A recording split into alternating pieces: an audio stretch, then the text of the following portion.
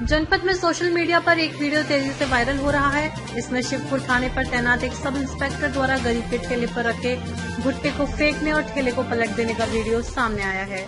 इस पूरे प्रकरण को गंभीरता से लेते हुए एसएसपी अमित पाठक ने सब इंस्पेक्टर वरुण कुमार शाही थाना शिवपुर को तत्काल प्रभाव से निलंबित कर दिया है।